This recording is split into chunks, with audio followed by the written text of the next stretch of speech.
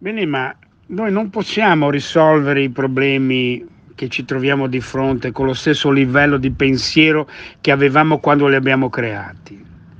E questo lo, lo diceva già Einstein, non, non un ragioniere. I problemi che abbiamo di fronte oggi non possono essere risolti col livello di pensiero che li ha fatti sorgere.